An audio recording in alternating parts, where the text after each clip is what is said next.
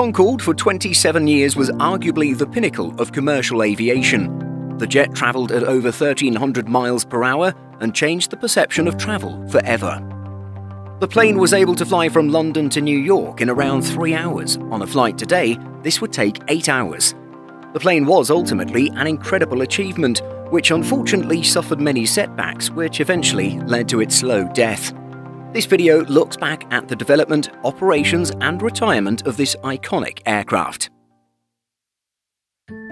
Concorde emerged out of the desire and efforts of several countries from the 1950s to launch a supersonic commercial aircraft.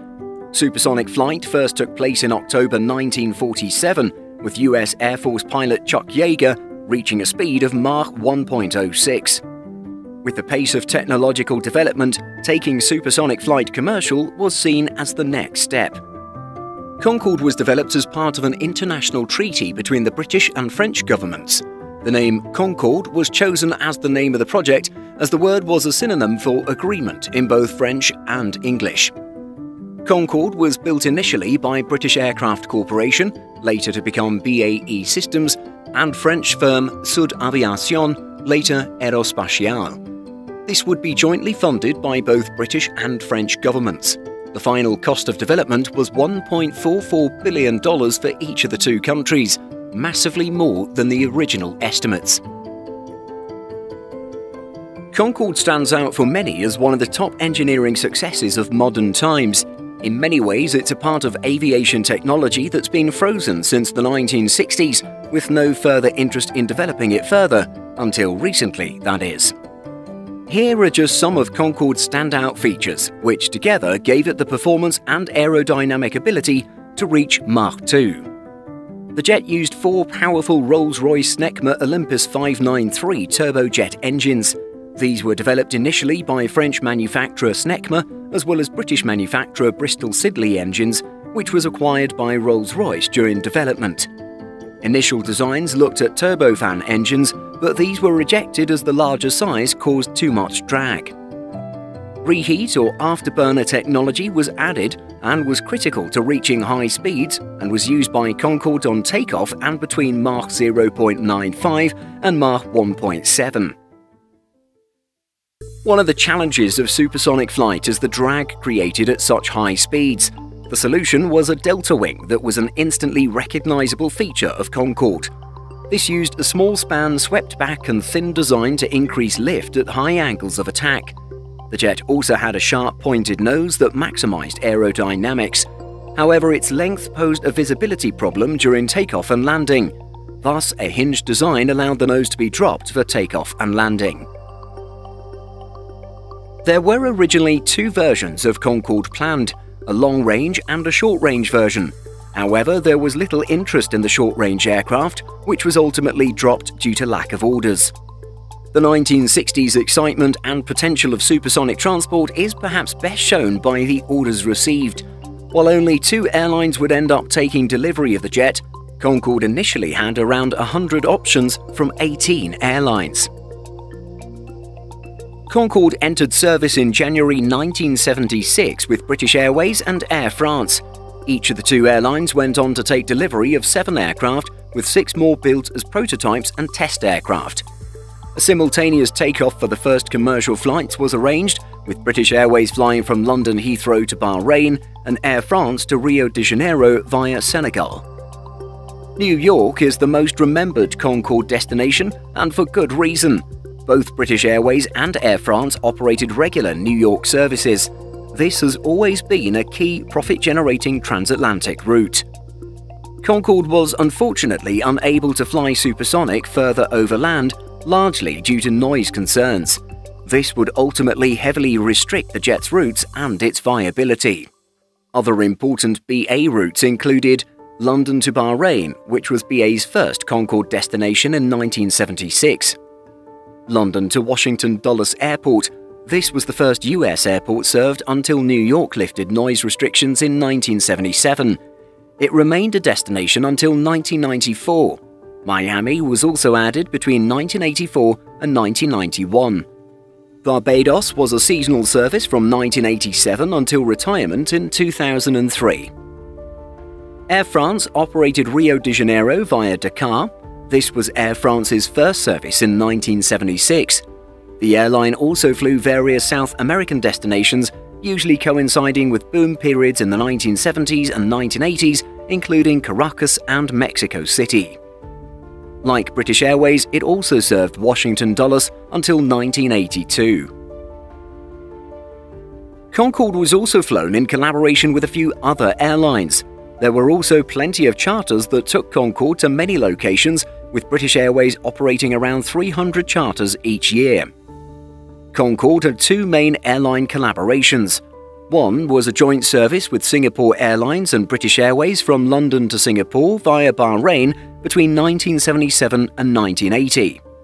Another was Braniff International Airways operating the jet Subsonic between Dallas and Washington Dulles.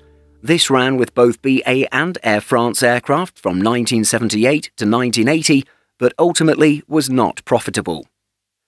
Flying on the jet wasn't cheap. In 1977, the one way fare from London to Washington was £431 Converting currency and adjusting for inflation, that's about $3,400 today. Fares increased as times went on. By the late 1990s, the one way transatlantic fare was around $6,000. With significant improvements in subsonic business and first class comfort around the same time, it became harder to sell. With only British Airways and Air France confirming orders and taking delivery, the aircraft's quote unquote fall somewhat took place even before it entered service.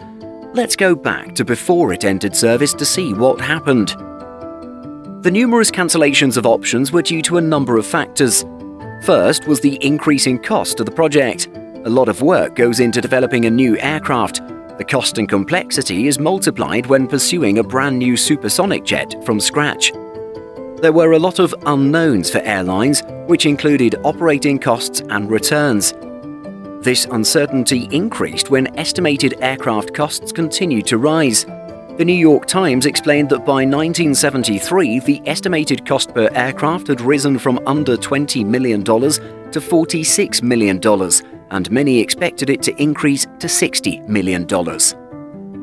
If you're liking this video so far, why not click subscribe and hit the like button? Oh, and be sure to click that notification bell too. The crash of the Russian Tu-144 in 1973 whilst demonstrating at the Paris Air Show was another factor that brought down airline confidence in supersonic passenger travel. Additionally, the cancellation of the Boeing 2707 added to more uncertainty about supersonic development and costs. This competing project was cancelled in 1971 and, despite having more orders, its cancellation raised more concerns over Concorde's viability. Noise impact was always known to be a problem with supersonic aircraft, but concerns grew as the project progressed. A potential government imposed limitation to only operate over water was too much of a restriction for some airlines. For the two airlines that were committed to operating Concorde, three main factors come to mind when looking at the aircraft's downfall. When Concorde was designed, fuel prices were low. However, the oil crisis of 1973 to 1974 sent prices up, hurting the economics of operating it. The sonic boom issues continued as well. Overland operations remained restricted due to the noise, and as such, it was essentially restricted to transatlantic routes. Finally, we can't discuss the jet's demise without looking at its safety record. The crash of Air France Flight 4590 in July 2000 killed all 109 passengers and crew on board. There may have been just this one crash in its history, but it was a significant disaster that severely damaged the jet's reputation. In the end, Concorde was retired in 2003. British Airways and Air France jointly announced this in April of that year. Air France flew its last commercial flight in June, with British Airways operating it until October. When Concorde retired, it had been in service for 27 years. For most aircraft, this age retirement would be nearing. Certainly, to keep existing aircraft operating would become increasingly expensive. After retirement, most aircraft headed to storage and display, there was an attempt from Virgin Atlantic's Richard Branson to buy them. Unfortunately, this never proceeded, despite an appeal to the UK government to step in. The jets are now featured in museums across the world, including locations in UK, France, the United States, Germany, and even in Barbados. Almost 20 years after Concorde's last flight, the situation is once again looking promising for supersonic passenger flight, with several companies working on commercial jets large and small.